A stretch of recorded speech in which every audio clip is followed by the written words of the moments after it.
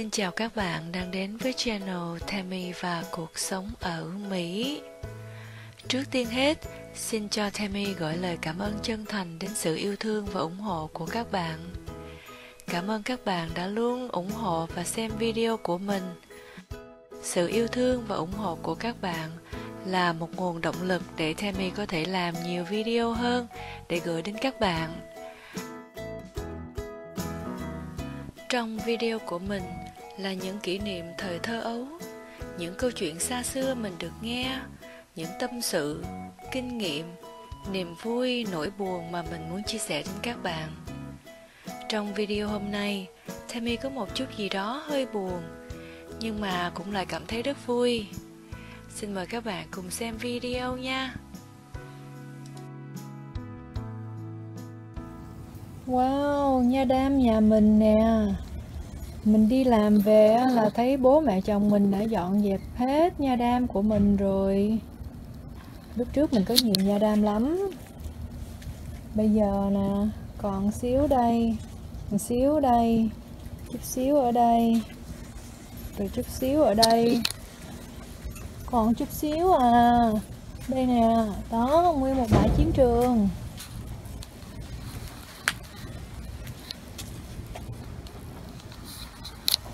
Quá chừng nha đam luôn. Rồi. Nhìn thấy nè, nhỏ nhỏ nhỏ nhỏ cũng có. Lớn như bên kia cũng có. Nhiều lắm.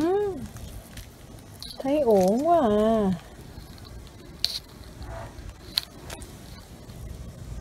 Ổn quá à ổn quá ổn quá ổn quá.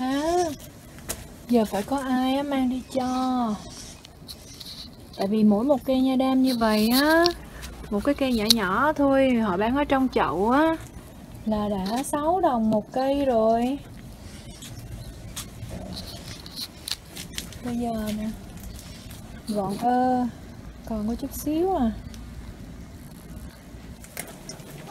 Rồi nhìn thấy nha đam vậy tội nghiệp quá đi.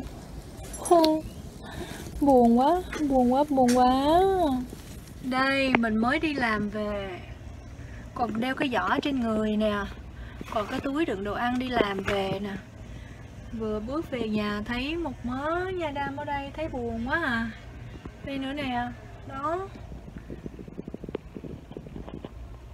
Quá chừng luôn. Buồn quá à. Tội nghiệp nha đam quá à. Nha đam trồng lâu lắm rồi nó mới được vậy đó.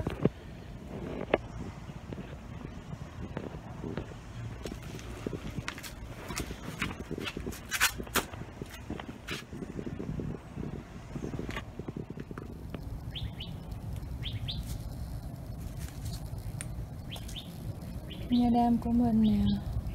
Bây giờ còn như đây. Trong chậu cũng còn có một chậu.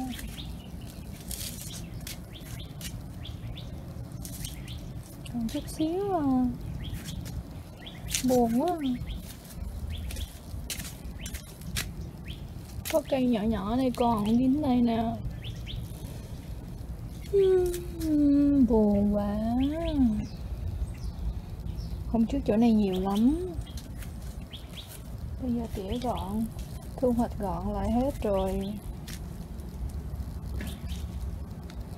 Giờ thưa thớt rồi. Mà bên này thì một đống quá chừng luôn. Chắc là mình phải uh, mua chậu mình trồng lại quá à. Chứ uổng quá à. Nhiều lắm trồng bao nhiêu năm rồi mới được như đây nè sinh sôi nảy nở ra như đây nè nhiều lắm. Bây giờ không có nở nào mà bỏ đi đâu. Bây giờ là mình sẽ mang đi uh, mang đi tặng nhiều người để người ta trồng đằng sau nhà người ta. Hay là mình sẽ mua chậu rồi mình trồng trong chậu. Chứ mà bỏ đi như vậy thì uổng lắm không bỏ được. Mình thương mấy cây nha đam này lắm trồng nó từ lúc mà có một bụi nha đam duy nhất thôi. Rồi sinh sôi nảy nở lên nhiều như vậy nè. Đó, quá chừng không? Mà, đây, nhìn ở đây nè. Đó. Vẫn còn, nhưng mà không nhiều như trước nữa. Đó, nằm ở đó một đống quá chừng còn phía ngoài này thì vẫn còn nè. Phía ngoài này thì vẫn còn. Rồi bên này thì cũng còn luôn. Đó.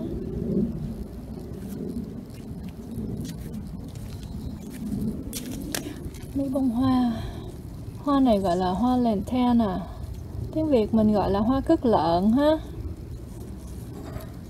Hôm nay buồn quá à. Nhìn mấy cây nha đam như vậy thấy buồn quá à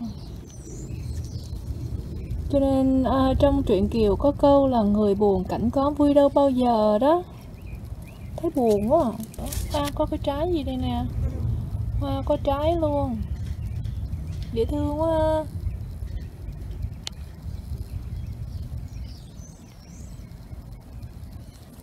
mấy bông hoa này tím tím nhìn dễ thương quá chừng.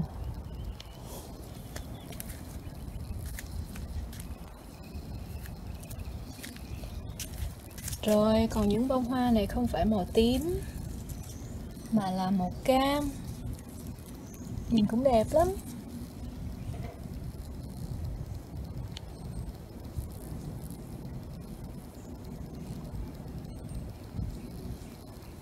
À chùm này nhiều hoa quá.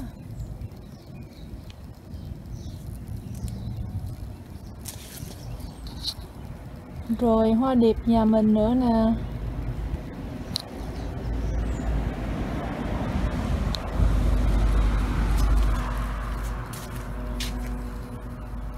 rất nhiều hoa điệp có trái nữa. Đó. Các bạn thấy trái hoa điệp không? Ôi, hôm nay trong lòng thấy buồn một chút xíu. Buồn quá à. rồi hoa hồng nữa nè. Ôi hoa hồng này đẹp quá. Cái nụ. Trên đó có cái nụ nữa nè. Hoa này nữa. Đây có một cái nụ dễ thương kia không? Nhỏ xíu xíu xíu à. Nha đam giờ thưa rỉnh rồi.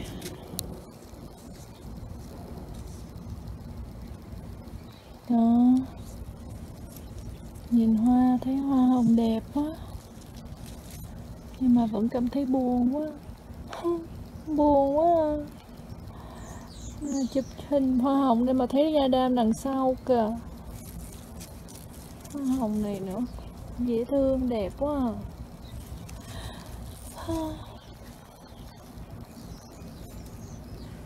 Nhìn những cây nha đam nhổ lên nằm một đống như vậy á, Thì mình thấy rất là tiếc. Tại vì mình trồng những cây nha đam này đã từ lâu lắm rồi. Trồng lâu ơi là lâu mới ra được nhiều như vậy. Mỗi lần mà thấy sinh sôi nảy nở lên một cái cây con á Thì mình cảm thấy rất là vui. Cho nên mình không có nỡ bỏ đi. Mà nhìn thấy một đống nha đam nằm phải bỏ đi như vậy á Thì mình tiếc lắm. Cho nên là mình cảm thấy hơi buồn một chút xíu.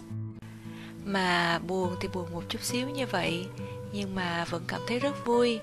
Tại vì bố mẹ chồng mình sang chơi à, thấy vợ chồng mình bận rộn cho nên bố mẹ chồng mình thu dọn đằng trước, cho cái sân đằng trước của mình sạch đẹp. Nên bây giờ cái sân đằng trước mình nhìn sạch đẹp lắm rồi. Nhìn thấy như vậy tưởng là đơn giản lắm, nhưng mà không phải đâu các bạn.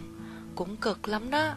Nhổ lên hết một đống nha đam như vậy á, cũng cực dữ lắm á. Mệt lắm à nha.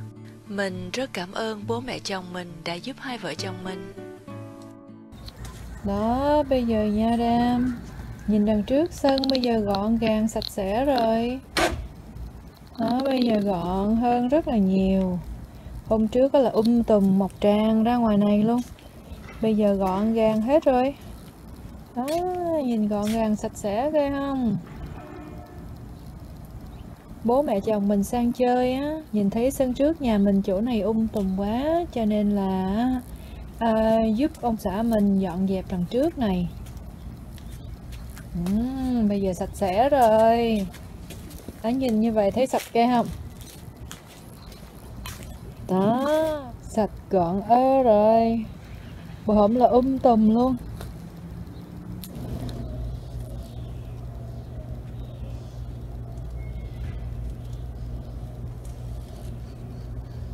Nho của nhà mình nè các bạn. Mấy cành khô này đâm rồi. À mấy chùm nho này mọc tuốt ở trong mọc mà mình muốn quay phim. Ấy da, là mình phải chui chui dưới cái vàng này nè. Mà cái vàng nho thì nhiều cành khô. Ai da. Nhiều cành khô, cho nên nó đâm vô trong đầu chùm này đi dễ hơn, còn chùm đằng trước này khó quay quá à.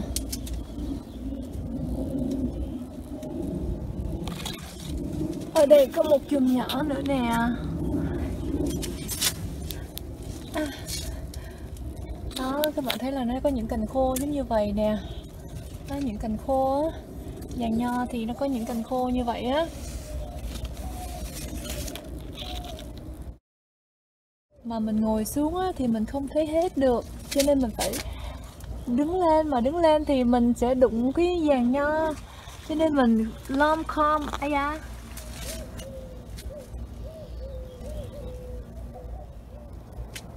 Cây bồ ngót của nhà mình nè các bạn. Các bạn nhìn thấy bây giờ um tùm ghê không?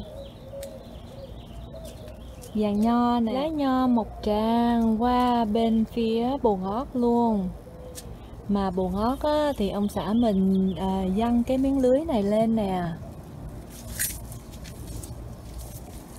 Đó. Mình không muốn cây bồ ngót lên cao nữa mình chỉ muốn thấp thấp như vậy thôi.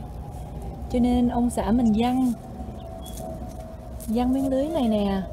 Mà các bạn thấy đó nó vẫn mọc um tùm ha. Từ đằng ở đằng kia kìa thì nó chui ra khỏi miếng lưới luôn nó đi lên đằng đó. Nè mà các bạn nhìn à, lá bồ ngót nha. Xanh tươi. Mình thương cây bồ ngót này lắm. Mọc tươi tốt quá chừng luôn. Đó. Đây mọc xanh rờn tươi tốt ghê không?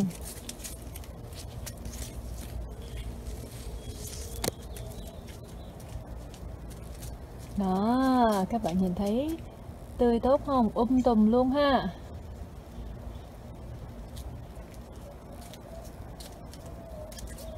Trong này nè, đó.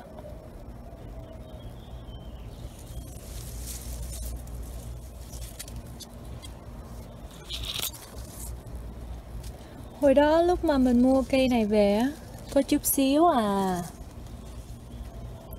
những cành mới nè, những cành mới đang lên nè. Đó.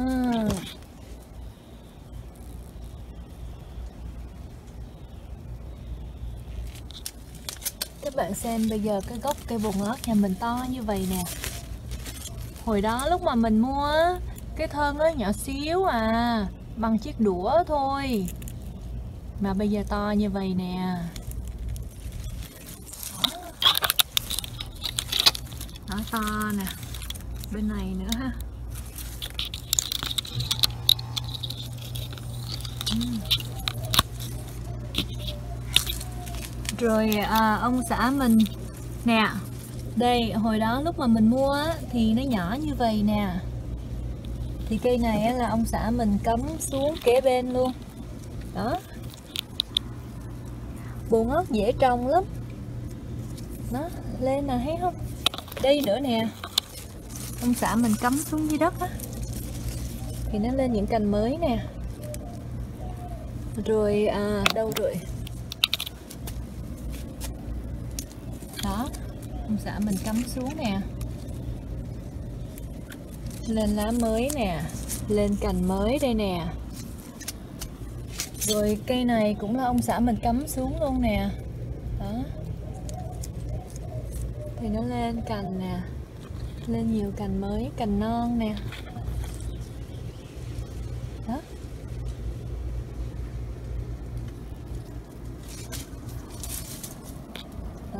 Bồ ngót nhà mình um tùm ghê không?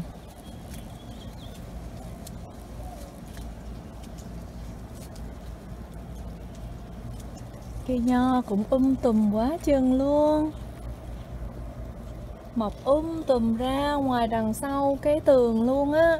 Phía bên kia cũng nhiều nho lắm, mà nằm phía bên kia tường kìa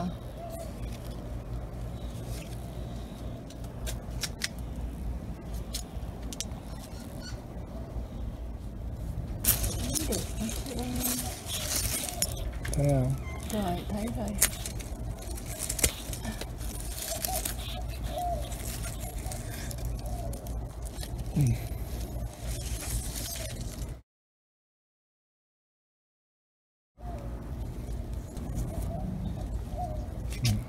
cái rổ đấy. Đây cái rổ em cầm cho. Một chùm nha mấy cái lá khô nó dính trong cái rổ kìa. À, một chùm nho rồi. Rồi. Này còn cái chùm chùm này luôn à anh đạp đi, đi coi chừng. Cái chùm non rồi chùm non nó chưa có lớn được kìa à, em anh đạp dính lá lót hết. Đó. Là nó chín nó chín quá rụng hết hả? Ờ chín quá rụng hết rồi. Rồi. Ổn không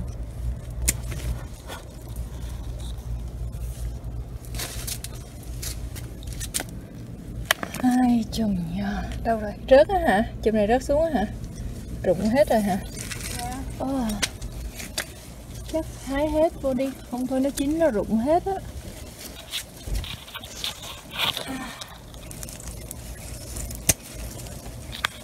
À. đâu Wow.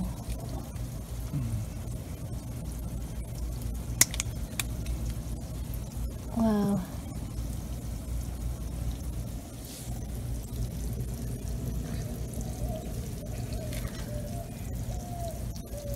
Rồi được như đó. Còn chùm này nữa hái luôn không? Hái luôn đi. Ông thôi nó chín, nó rụng xuống hết, uổng.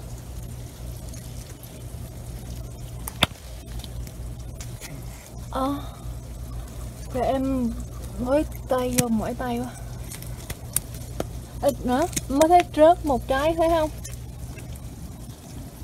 À Rồi ngồi xuống đây Mỏi tay quá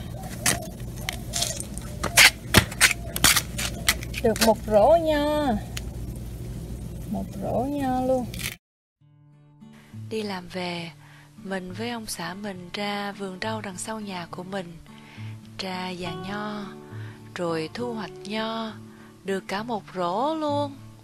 Một rổ nho hôm nay, rồi một đống nha đam ở đằng trước nữa.